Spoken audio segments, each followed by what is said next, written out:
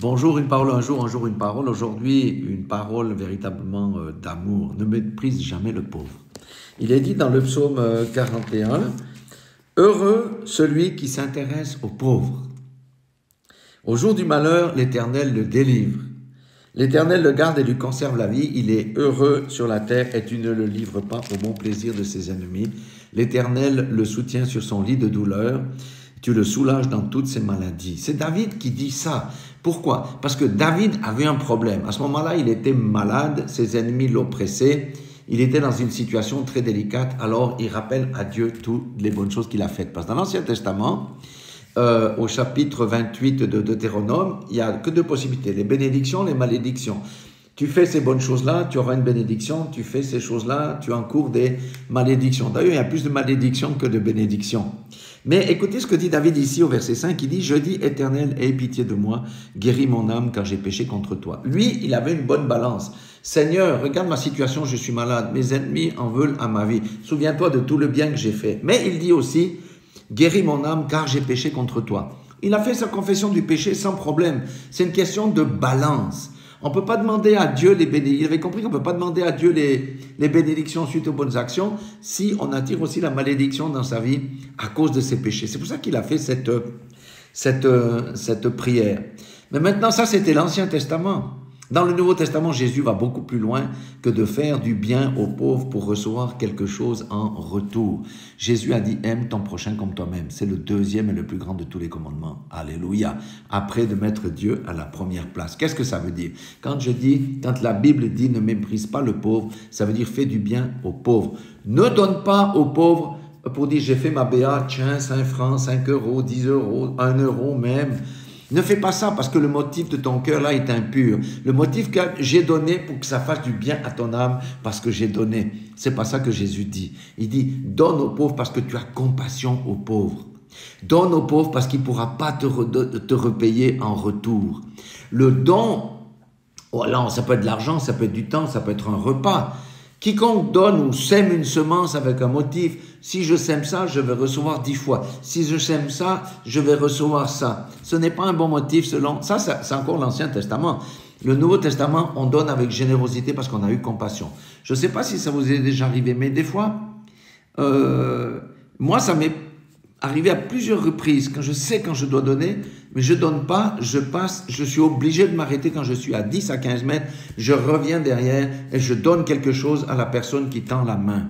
C'est ça, parce que j'ai compassion de la situation. Nous devons avoir la compassion de la situation. Lorsque le Saint-Esprit te met la compassion de la situation, donne sans attendre rien en retour. C'est ça le véritable amour. Si tu invites quelqu'un dans ta maison, tu sais qu'il a les moyens, par exemple, euh, de t'inviter à son tour chez lui. Quel bien as-tu fait? Tu t'es fait plaisir à toi-même, tu lui as fait plaisir. Et tu sais qu'il va te donner un retour. Mais si tu, invites un pauvre à manger chez toi, il pourra jamais te, te repayer la chose. C'est le véritable amour. Nous devons apprendre à être généreux du cœur, à s'intéresser aux situations euh, d'autrui. Alléluia. Voilà ce que c'est que le véritable amour. On ne donne pas pour recevoir quelque chose. On ne donne pas pour recevoir quelque Jésus, il a donné sa vie pour recevoir quoi en contrepartie Rien du tout. Il a donné sa vie librement pour nous libérer de nos péchés. Apprenons à être bons, à avoir des motifs nobles dans le cœur, à être sensibles à, la situation de nos frères et de nos sœurs et de celui qui tend la main euh, dans la rue. Sachez que des fois, vous donnez à des anges je, terminerai avec ce petit témoignage, on va faire une vidéo un peu plus longue. Une fois, il y a quelques années, quand je travaillais, j'ai dit au Seigneur, bon, j'ai du temps à midi, c'est un, beau jour d'été, euh, qu'est-ce que tu veux que je fasse? Je sors. Et quand je passe sous le porche d'une banque, il y avait un, mendiant roumain qui avait euh, écrit euh, J'ai une famille, donnez-moi quelque chose, etc. Mais il avait marqué Jésus aussi dessus, Jésus.